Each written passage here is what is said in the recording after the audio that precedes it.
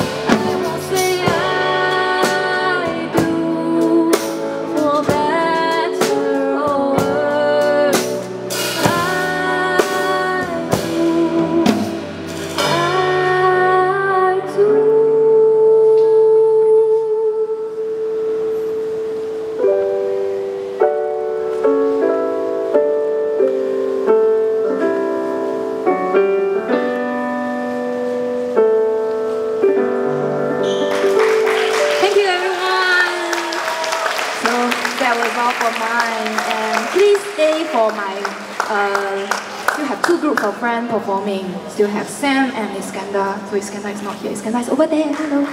Yeah, so please stay for them also. Okay, thank you.